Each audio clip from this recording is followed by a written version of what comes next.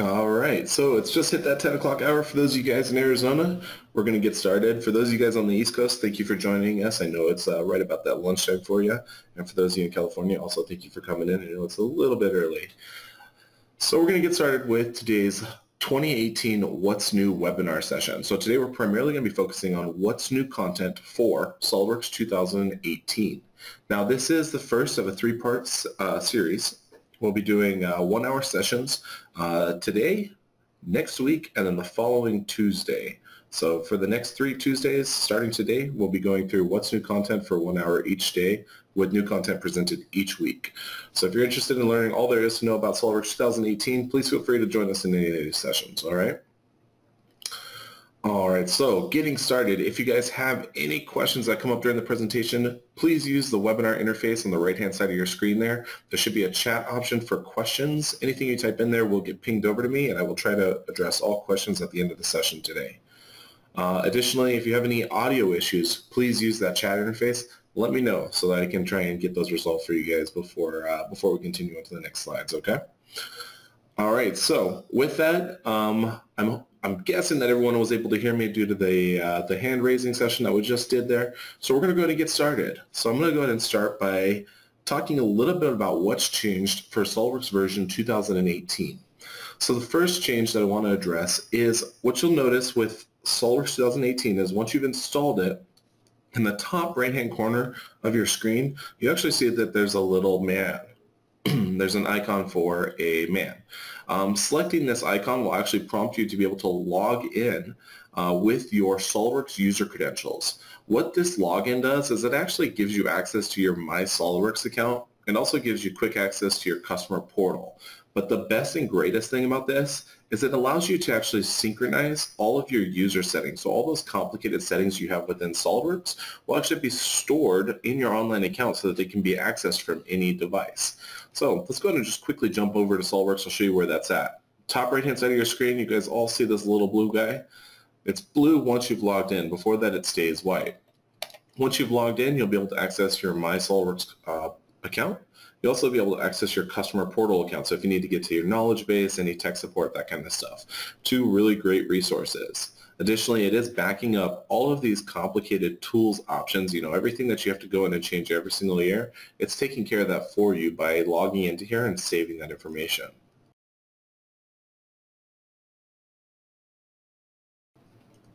Now, this little guy also gives us access to something new this year called the admin portal. So the admin portal is actually uh, a way of monitoring your licenses and being able to adjust your licenses for something new called act or online licensing. So what online licensing is for each of you guys that have standalone licenses um, and need to use more than a singular computer to access that license, you can actually convert your license over from a machine activation license to an online license. So using that little guy, signing in, clicking on My SOLIDWORKS uh, mysolidworks.com. Going to the admin portal, you'll be able to select your license and convert it over to an online license. What that'll allow you to do is every time you log into a computer, open up a SOLIDWORKS session, use that little guy to log in, it'll actually use your license to activate it versus forcing you to uh, activate or deactivate your pre-existing licenses or your other computers on the network. Uh, for those of you guys that do travel a little bit with laptops as well, if you convert your license over to an online license, um, you do have an offline mode where you can borrow the license for a set duration of time. Now, if you need to, you do have the ability of toggling this back and forth between online and machine activation at will, basically as many times as you need to in order to meet whatever your daily needs are. But the real goal here is to give you access to SOLIDWORKS on your license without forcing you to do the activate, reactivate, um, the deactivation process, all of that stuff that's in, that entails uh, moving your license back and forth from one computer to another. Now, for those of you guys that are not familiar with this process yet, you'll be able to access it by, again, clicking on the guy up here. Go to mysolidworks.com. And once it loads up in the top right-hand corner, if you right-click there, you can click on Admin Portal. Inside your admin portal, you'll be able to select each of your individual licenses and set them to whatever your desired usage is.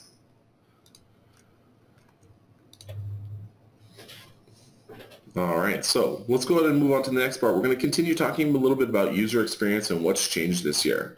So in SOLIDWORKS version 2018, the first thing you'll notice once you open the software, other than the little guy in the top right-hand corner, is there's actually a new splash screen, a new welcome screen that opens up for us. Part of that welcome screen will give us access to different resources so we can learn more about SOLIDWORKS and see our recent projects. There's also an assembly open progress indicator. So as we open up new files, uh, assemblies, parts, anything like that, we'll actually see how long it's taking those models to open, and we'll get a performance evaluation based off of that information. Then I'll show you some new user interface stuff in assemblies as far as top-level transparency, color-coded folders, and I'll even explain what's going on with new mouse gestures. So let's go ahead and jump over to SOLIDWORKS and talk a little bit about everything that's going on with the new user experience. So first and foremost, inside of SOLIDWORKS, when you launch SOLIDWORKS initially, you will be prompted with this new home screen. This home screen is designed to make things a little bit more accessible to you. So you have quick access to your uh, default parts, assemblies, and drawings templates. For those of you that are using the advanced options, you can simply click the advanced button and it'll still open up the same old advanced uh, template information. On the home screen, we'll also be able to see all of the recent documents that we've recently worked on any folders we've worked in, and access to different resources as far as what's new content, My SOLIDWORKS, the forums, your local user groups, and getting support. You also have access to uh, different content in your SOLIDWORKS license to help you learn how to use the software a little bit faster, better, make your life a little bit easier. So there are tutorials built into the software, but this just gives you easy access to finding those, as well as for those of you interested, the certification process. And finally, the new splash screen will also give you access to any alerts that SOLIDWORKS is sending out. So you'll be able to see any issues that might uh, interest you or might cause daily problems for you, so such as scheduled maintenance or when new software releases are coming out. Now, a new function for SOLIDWORKS 2018 also is once I select a model, uh, if it takes any load time, which I actually get prompted with is as the model's opening up, you'll actually get this uh, screen at the top that's going to show you what's opening, how long it's taking, and what the last uh, recorded time it took to open that file was. So as it opens up, you'll be able to see if you're performing better or worse than what it did in the past. As it runs through these iterations, if it finds a problem, it'll prompt you with a performance evaluation to figure out what's going on with the model. Why is it taking significantly longer to open or close than it did the last time? And then once it concludes, we'll have full access to the model like we would expect. Now there is some new functionality inside the SOLIDWORKS visualization as well. So for those of you guys that have used assembly visualization in the past, you all now have access to this to get color-coded parts. So as we sort our parts, we'll be able to look based off of uh, different properties. So in this case, if we wanted to look at the mass of a model, or if we wanted to kick this thing over and change this from mass to something like, say, uh, graphic triangles. So graphic triangles are uh, how many triangles make up the individual model pieces, and then it'll color code them based off of the number of graphic triangles that each piece of the model represents or how much, uh, how intense it is for your actual computer. So you'll be able to see everything that's uh, in my case, everything that's very difficult to render is a dark blue, and everything that's very easy to render is a light or is the red color. So the blue ones are the ones that are most difficult for the, the machine to handle. Some other new functionality as far as 2018 is concerned for user experience. In case you ever need to go into a top-level assembly and actually make the entire assembly transparent, versus trying to dig through this, there's now actually a new command in the right-click menu at the top of the assembly feature to convert an assembly to a top-level transparency. Toggling this will make every component in the assembly transparent at the parent level or at the assembly level. This can easily be toggled by accessing the same option and just toggling it off.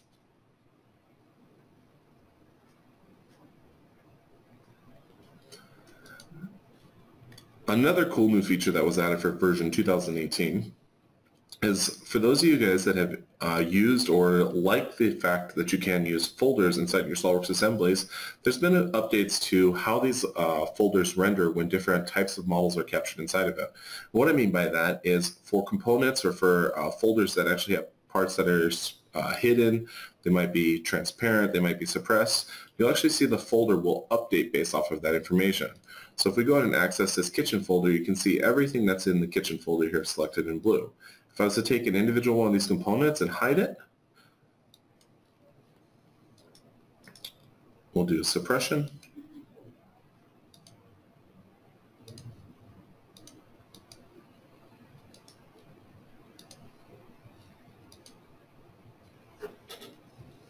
you actually see the folder will update with that suppression information so it's as gray.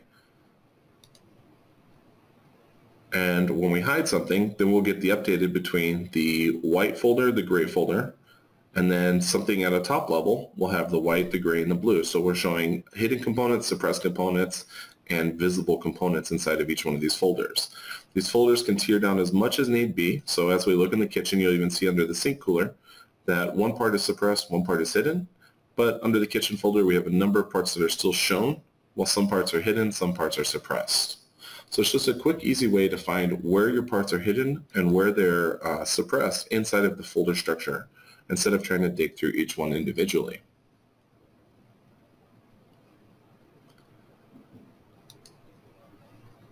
Now, to make your life easier with SOLIDWORKS 2018, SOLIDWORKS has also increased the number of uh, mouse gestures that can be uh, customize on side of your SOLIDWORKS instance.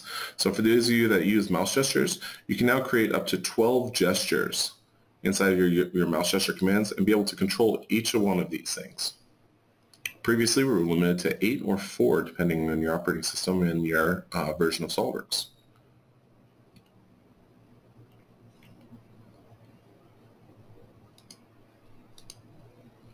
Another great user enhancement for those of you guys that have used Pack and Go support at any or Pack and Go at any point in time. Uh, Pack and Go now actually has the ability of inserting or removing suppressed components from your assemblies. So as we access the uh, Pack and Go command here, you'll notice that there's a new checkbox right at the top here for include suppressed components. Checking or unchecking this will remove or add suppressed components to your Pack and Go file output.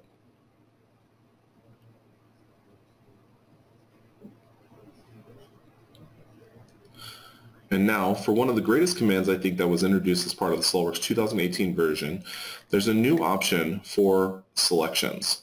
So as we do the selection dialog, there's a new option for select over geometry. So what does this mean? Select over geometry is something that can be used when we're trying to grab an object using the drag and uh, the drag marquee tool. So if we tried to do it while we had a model that was placed behind our object in the past, as we select and try and drag and drop, all we end up doing is actually selecting the object in the background. So this new option to select over geometry will allow me to do that selection, drag over it without selecting the background object. Now for those of you that are hotkey uh, or more uh, more interested in using hotkeys, this is defaulted to a hotkey for T, T as in Thomas. If you click on that T key, it'll actually activate that hotkey for you on demand so that instead of trying to do your drag and drop or your drag over an option and selecting the background, hitting T and then doing your drag will actually activate the select over geometry option.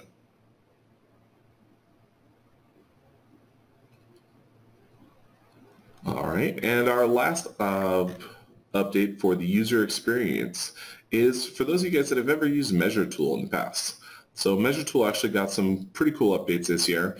Uh, one of the greatest things I think that they introduced was this new pin option. So for those of you that have used Measure Tool in the past, you know that when you hit escape on accident, it actually kills your Measure Tool instance. And sometimes you're just trying to hit escape to exit a selection tool.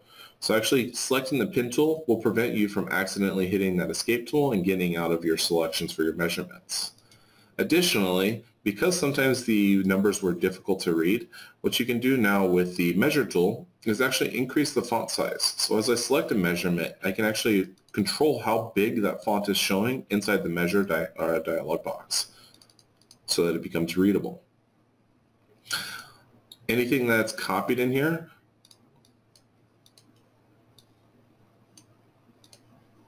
no, it's not going to do it for me today, but um, you, everything in here is still copyable. But you might see that this is, uh, there you go.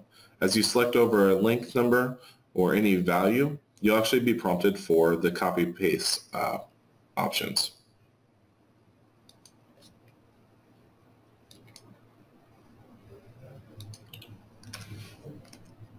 All right, so let's talk a little bit more about what's new in SOLIDWORKS 2018. So for user experience, we talked a little bit about the welcome screen, the open progress indicator, so where it's, what's open, how long it's taking to open, and any uh, performance issues that are being uh, seen. The ability to change the top level transparency of an assembly, the new color-coded folders, access to more mouse gestures, select over geometry using the T key or accessing it through the select uh, options, and then the new measure tool enhancements. So what's next? Well, with SOLIDWORKS 2018, SOLIDWORKS actually partnered with a CAM provider. So in SOLIDWORKS 2018, you'll see that if you're on active subscriptions, you actually have access to a two and a half axis uh, CAM program powered by CAMWorks. So what is this thing? So SOLIDWORKS CAM is a part and assembly machining software built to generate the CNC code or built to generate the code needed to run or operate a CNC machine. Um, with SOLIDWORKS 2018, if you're on active subscription, you'll get access to the two and a half axis milling and two axis turning modules. What this allows you to do is to build the full tooling paths for your CAM machine or your CNC machines inside of SOLIDWORKS, be able to simulate those tool paths and build your uh, CNC process through a library of components. So let's go and take a look at SOLIDWORKS and see what's going on here with that. If you upgrade SOLIDWORKS 2017, you will need to modify the install to make sure you do include it as part of that installation. But by default, if you're installing SOLIDWORKS 2018, you will automatically add this as long as you're on subscription. It is part of the add-ins features so you'll see SOLIDWORKS CAM 2018 loaded as part of your SOLIDWORKS add-ins. Turning this on will enable the add-in. And from here, all we have to do is open a part or an assembly that we want to perform the machining on. And in this case, I'll go ahead and grab my bearing here. And we'll start the CAM process for this bearing. So I have a bearing uh, pre-built up, pre-modeled for us. And if I want to generate the machine code for this, it's a fairly simple process. You'll see that there's a SOLIDWORKS CAM add-in that's added at the top of my screen in my command manager. And there's also three additional icons that are inserted into the feature tree for us. The software is pretty intuitive, meaning we can just move from the left-hand side of the screen through the right-hand side of the screen in order to start to build the manufacturing process. For more in-depth use, there are tutorials or access to tech support in order to learn more about the SOLIDWORKS CAM functionality. But in general, it's fairly simple. Define your machine. What machine is going to be actually be doing the operations that we're working on today? Extract all the features. Some some cases we might not want to do the machinable features, but we'll actually do like uh, volume mills, so forth, so on. We'll uh, we'll we'll program this a little bit more uh, manually than allowing the software to do it all on its own generate the operation plans, generate the tool paths, and then it's cool because we can actually jump in and see all the simulations. So if we jump in after we've gone through the machinable features, grabbing the operations plan, generating the tool paths, we can actually visualize this inside of SOLIDWORKS and see how it's going to cut this model for us. So it'll go through with each of the different tools and show us a quick simulation of how it's going to add or remove material from these different components.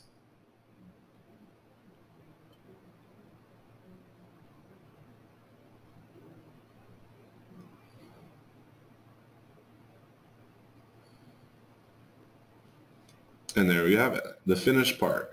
So there's a couple modifications we can make to the cam profile so that we make sure we cut out the extra stock material on the edge of this component or use the lathe in order to uh, use circular stock, so forth, so on. There's different options in order to complete this manufacturing process. Part of the setup for this software does involve going in and setting up things like the stock manager or inside these machines you can actually set up the different tools that you have available to your organization you have the post processors that you can match to your specific CNC machine. And you can set up all the various parameters of your setup or of your machining processes. Like I said, if you have any questions about this, feel free to reach out to us over here at DASI Solutions. We're happy to walk you through what's going on with new SOLIDWORKS CAM 2018.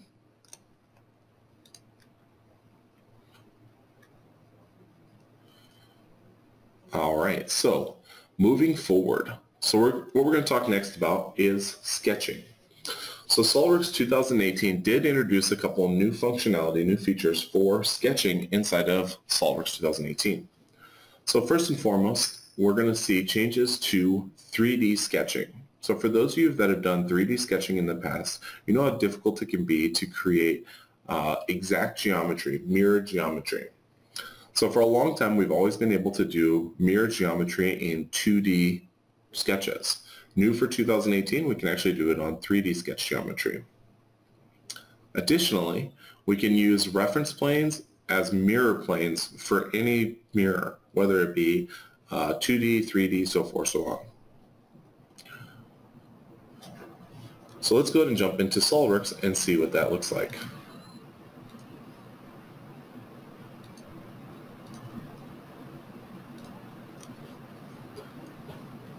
So inside of SOLIDWORKS, I have an assembly pre-built for us with a couple of different sketch options.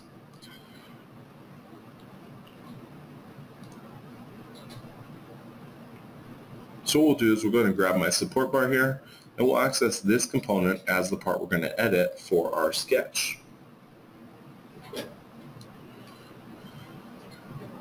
Now, inside my sketch, you'll notice that there are a couple issues first and foremost. The first issue that I'd like to address is I have an arc over here that was predefined. Something happened within my SOLIDWORKS instance when I saved it, when I converted it to version 2018, whatever it is, um, that actually flipped the arc on my lines. And what we're seeing now is that what I would originally intended to have been a nice little arc between the first two lines that have been tangent, it's now flipped in the reverse section it's very difficult to fix these things inside of SOLIDWORKS without breaking all the relationships, right? Without having to delete it and re-add it. New in SOLIDWORKS 2018, I can simply click on arcs that have the, the wrong tangency aspect and reverse them. So what you'll see is there's a new option under relationships for reverse endpoint tangent. What this will do is it'll actually flip that arc back up to its appropriate position without removing any of the references to the sketch geometry for me. Once I've repaired this sketch, I can actually perform a new operation in SOLIDWORKS 2018 using the mirror command, and the mirror command will actually work for my 3D geometry. So as we go in here and actually do a select, each of the components will start to be visualized on the opposing side of the plane, of the selected plane. So we'll make this a little easy and just go ahead and select everything there. By walking through each of these different options,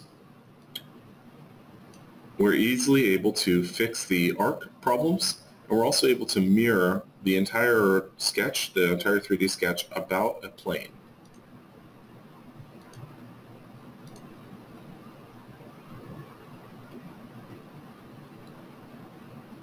Now another critical enhancement that we've seen for SOLIDWORKS version 2018 is We'll go ahead and start this with a brand new fresh part. Each of us has seen before as we access a sketch when the plane rotates normal to our front screen. Now, previously, this only ever happened whenever the plane was not normal to the screen, right? When it was a brand new sketch that we're going to access and create. As part of SOLIDWORKS version 2018, any pre-existing sketches will follow the same behavior as long as the option inside of your system options sketches and auto rotate view normal to sketch plane on sketch creation and sketch edit. So you'll see there's been a change in verbiage at the end of the option here for us and a change in functionality as far as how the software is behaving. So sketches now that are not normal to the screen upon edit will become normal to the screen and zoomed in.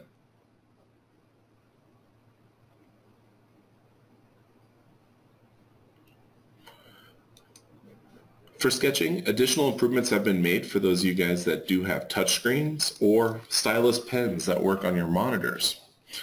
SOLIDWORKS actually introduced a new touch mode to SOLIDWORKS 2018 that can be used with touch, uh, touchscreen monitors such as the Microsoft Surface. Additionally, if you have a stylus pen and you want to use it inside of Sketches, you'll notice that there's new options in a toolbar for Sketch Ink. What Sketch Ink will allow you to do is for touchscreen computers or pens, uh, stylus pen computers to be able to use those to drive uh, sketch geometry. The software will automatically convert any sketch geometry to to sketch entities. So if you draw a nice uh, round curvature, a nice circle, it'll actually try to do a full conversion of that circle into the circle tool or circle uh, sketch entity. All right, so let's step forward into our next category for today. SOLIDWORKS 2018 introduced some cool new functionality for drawings. This year, we'll primarily be talking about inserting 3D model views to drawings, adding advanced hole callouts created from parts, and then adding all uppercase for tables. So drawings have been updated for SOLIDWORKS version 2018 to allow us to use or repurpose 3D annotated views. So for those of you that are familiar with the SOLIDWORKS MBD functionality, creating SOLIDWORKS MBD views inside the 3D Views tab are now reusable inside of the SOLIDWORKS drawings.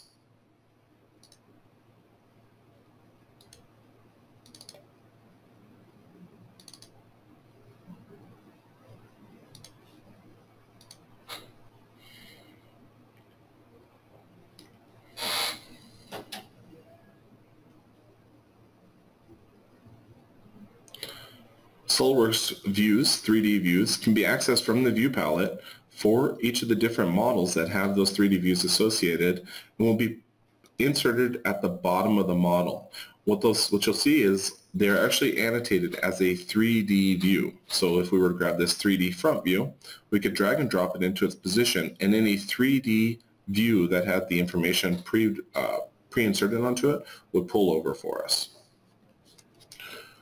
Very similar to how we used DimExpert in the past. So importing the annotations, 3D view annotations, and then grabbing that 3D view pulled forward. We get all of the 3D uh, information, such as the geometric tolerancing and any dimensioning or critical dimensioning that was done in the 3D CAD model.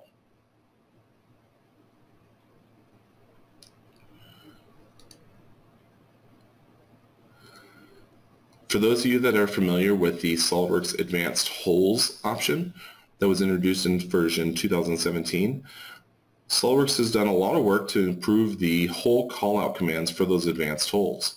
So this year, adding a hole callout in a drawing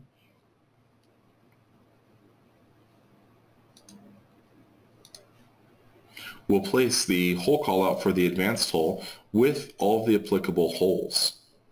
So for those of you that are, aren't as familiar with this process, inside the SOLIDWORKS part, what you'll see is it's an advanced hole option. The advanced hole is actually a series of holes that are drilled one on top of the other with different profiles. This was a new feature that was added as part of the version 2017 release. Now we can take all of these holes that we've stacked one on top of the other using both near side and far side uh, behaviors and insert the hole callout inside the sheet so we can see exactly how it's done. We do have control of how it's labeling these things near side and far side by simply toggling the reverse callout order and we're toggling the switch near side and far side messages. So if we want far side to be on the top or reverse the callouts.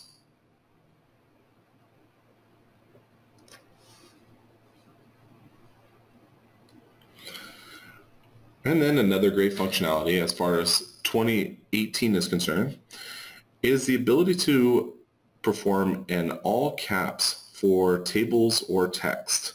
So previously, we all know that user has gone through before, and they do some stuff as all capitals and some stuff with a little bit of caps and a little bit of lowercase. SOLIDWORKS 2018 introduces new functionality for going through and editing the table so that all caps are available all caps are present inside the assembly. So instead of having to go into each part and renaming each one of the different descriptions so that it's all capital, we can actually just toggle this option now and you'll see that your bill of materials and your content reflects that change.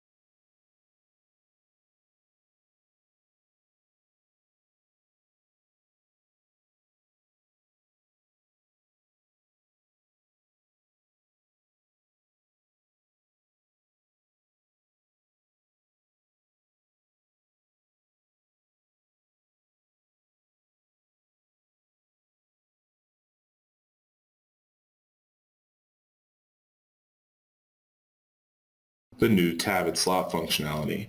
Tab and slot is a feature that was added as part of the 2018 release for sheet metal tools. So what we'll do is we'll go ahead and start by using the new tab and slot function for creating tab and slots on our sheet metal assembly here for different pieces. So as a quick example, so you can see where we're going to be doing this exactly, I'll go ahead and explode this assembly. And you'll notice that my first sheet metal component is actually not attached to my second one. There's no tab or slot feature function here. What I'd like to do is use the new tab and slot function to add a tab on the top component and add the opposing slots into the bottom component to make sure that everything lines up nice and tightly. So to do this, I'm going to go ahead and use the new, or I'm going to use the command inside my search bar for tab and slot. For those of you that don't know how to use this, there is an option to find any commands. So if we want to look for this specific command, we can click the eyeball and it'll take us to the command inside the SOLIDWORKS options. So there's my new tab and slot feature. Using the tab and slot feature, it's fairly simple. I need to simply select the group, start on the first face where I want the tab to be created, and then select the end condition. Selecting the back side of the face here will insert the tab and the slot so that way the tab is moving through the material and will actually cut a hole into the opposing material so that it can uh, capture the slot here for us. If I wanted to do two or three slots, just simply incrementing them, adding three slots, will push that forward so that the cuts are being made. I do have control over the shape of those slots, so adding in sharp edges, the chamfered edges, or if we want filleted edges, we can control how those slots are working exactly. For my, or for my case today, we'll go ahead and use the chamfered edge and leave the chamfered edge at one millimeter there for us. Selecting the OK button, we'll cut the material and place the, the cut in there while adding the slot as well. Performing that same explode operation, we'll see exactly what happened with my new SOLIDWORKS 2018 tab and slot function.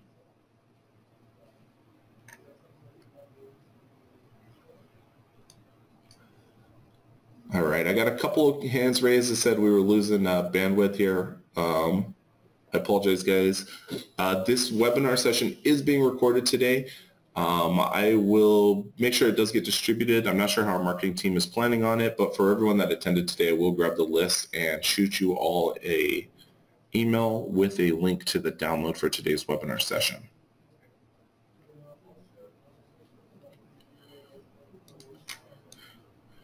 So to continue though with our tab and slot functionality, this is usable multiple times within a model, also can be used within an assembly or weldment bodies. So again, just to reiterate, it's a very simple tool to use. Simply access it from the commands bar, select the tab and slot function, merely need to select the edge where we want the tab to begin and the back surface where the tab ends.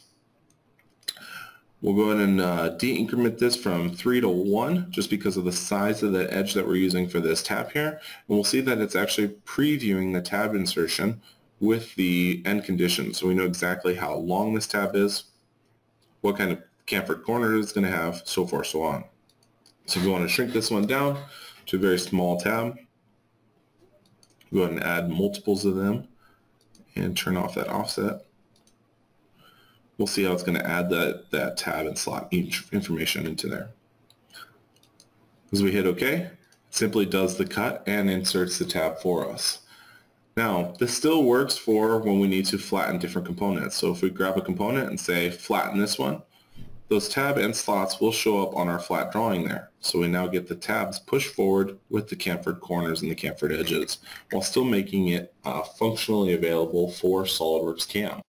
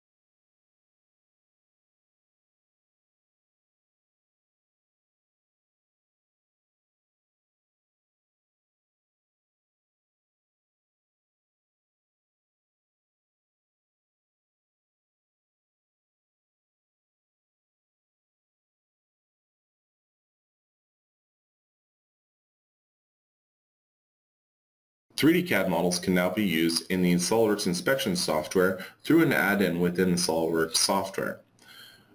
Previously, this was only available in SOLIDWORKS drawings themselves, but you'll notice this here that you actually have access to using SOLIDWORKS inspection documents from the 3D MBD models or the 3D DimXpert models that you've generated. Any callouts or any dimensions that were created using DimXpert can then be imported using SOLIDWORKS inspection here for us through the new project insertion option. So what you'll see is we have a 3D CAD model with all of the appropriate dimensions for manufacturing purposes. What we can do is actually create an inspection document from this model. And what we'll do is import each of the critical dimensions based off of our preset information. So for different parts of the AS9102 form, we will also be able to grab properties such as the part name out of the uh, custom properties dialog box, the part number, and then step forward. Each of the dimensions that are selected on the left-hand side of the tree will be inserted as part of the inspection document. So if we want to make sure we only included basic dimensions, we could check that, and then only the couple basic dimensions that are part of this drawing would actually be inserted. Otherwise, making sure that to include everything here, we'll actually see that the software will go through and iterate each one of the different dimensions and apply a bubble to them so that it's being used as part of the inspection document. Each one of them will show up in the tree here for us so we can see where one is, what that value is, and what the upper and lower sound limits are.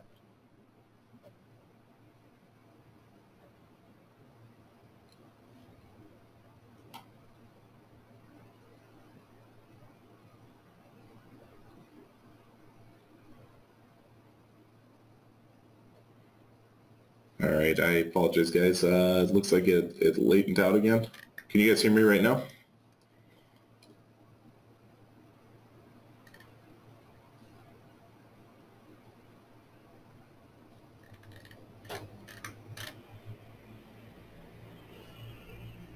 Okay.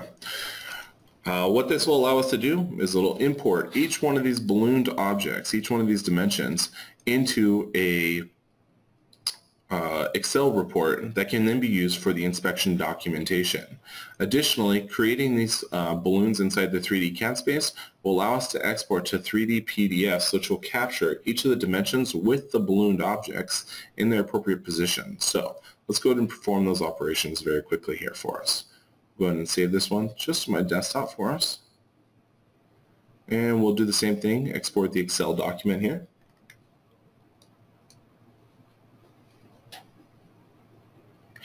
It'll just take a couple quick seconds as it goes through, calculates all the information and builds those geometries for us or builds those models for us.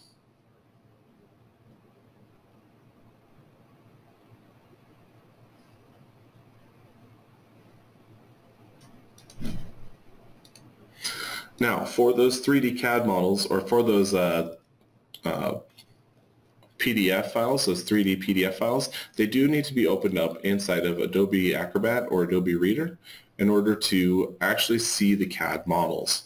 So as we open these up, it does have to be turned on, but what you'll get is access to each of the 3D views, and they'll show up here in the view space in just a second once it's done loading. Additionally, we should see the Excel document here generated using the AS9102 default form. And what it'll do is populate each of the individual uh, columns with the appropriate information. So as the balloon number, the specification, and then the upper and lower limits for the values here. So we actually get the full GD&T callout for the true position, plus we get the upper limit and lower limit information. Same thing on some of these other ones where we get the diameter symbol, letting us know that we're actually measuring a 7 millimeter diameter, and then it'll specify the upper and lower limit based off of the tolerance values. Each of these tolerance values was specified as part of the new project creation tool. So at the very end of the tool, there was an option to default each one of the standards that was not pushed into the software preemptively. So if our software or if our model or dimensions did not include upper or lower tolerances, it was using this tolerance table, essentially our title block table, to drive what those tolerance values look like.